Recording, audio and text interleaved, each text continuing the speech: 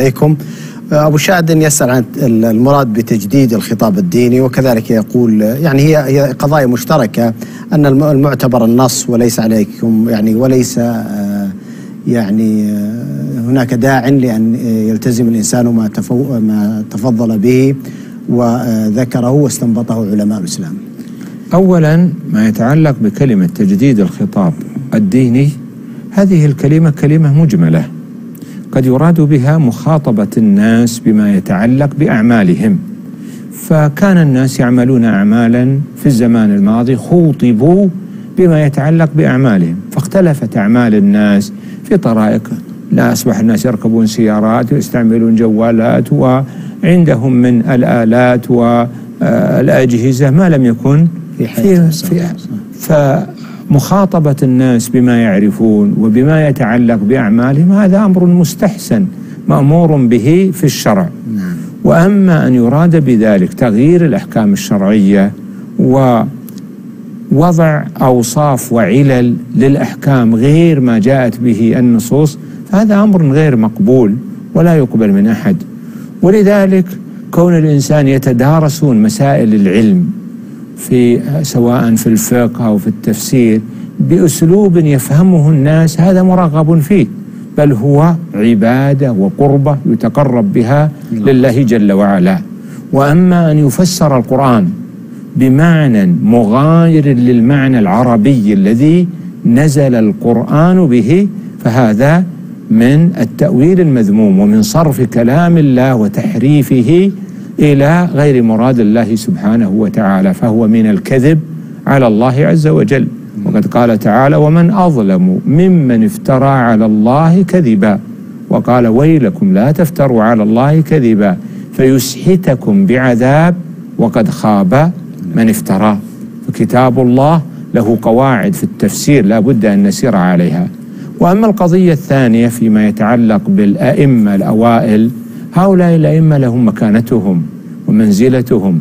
وقد أبلوا بلاء حسنا في نشر دين الله عز وجل.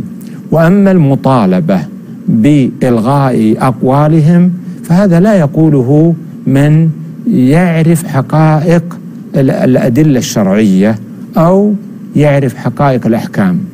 يعني الأدلة الشرعية لها معاني متعددة. من نظر بنفسه فإنه قد لا يدرك إلا معنى أو معنيين. فإذا أخذ بكلام غيره وجد أن لهذا النص معاني أخرى لم يكن يدركها فيما سبق.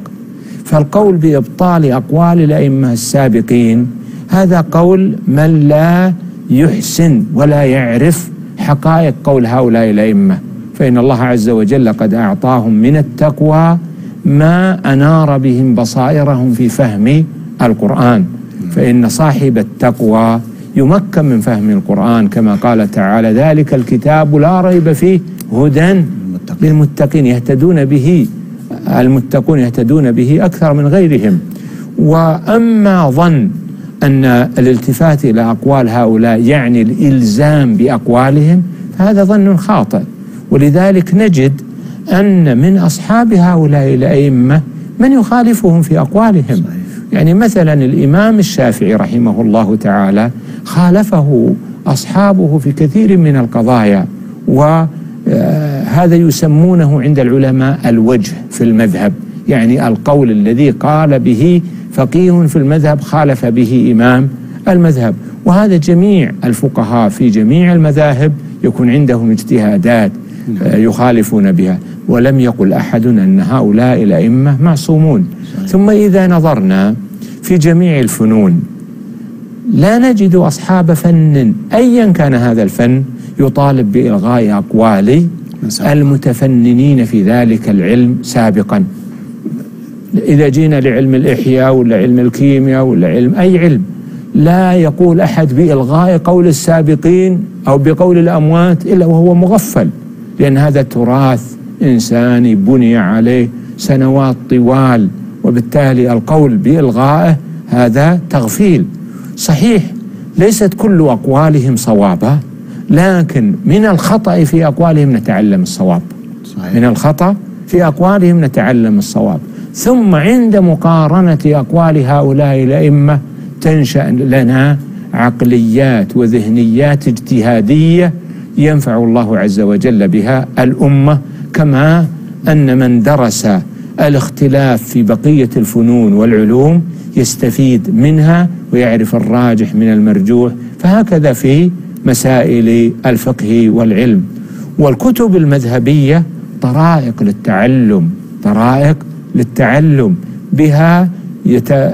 يعلو الإنسان في رتب العلم ويتمكن من التعامل مع الأدلة الشرعية خصوصا أن كثيرا ممن يدعي مثل هذه المقالة ليس عنده طرائق الفهم الصحيح فلا يفرق بين المفهوم والمنطوق ولا يعرف الفرق بين دلالة التنبيه ودلالة الإشارة ودلالة الإيمة ودليل الخطاب ودلالة الاقتران وغيرها من أنواع دلالات اللفظ. لا يفرق بين تحقيق المناط وتنقيح المناط وتخريج المناط ولا يعرف ما يبنى عليها من هذا الكلام. فدعوة الناس خصوصا أفراد الناس إلى انتقاد من يأخذ بأقوال الأئمة السابقين.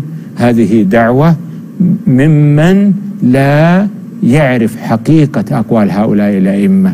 ولا زال الناس يستفيدون من كلام الأئمة الأوائل. عندهم من الطرف وعندهم من المعاني الدقيقة. المأخوذة من كتاب الله عز وجل وسنة نبيه صلى الله عليه وسلم. ما لو جلس الإنسان سنوات طوال يقرأ الآية لم يهتدي إلى ذلك المعنى. بارك الله فيكم وأحسن إليكم. شبكة المجد القنوات الآمنة للأسرة.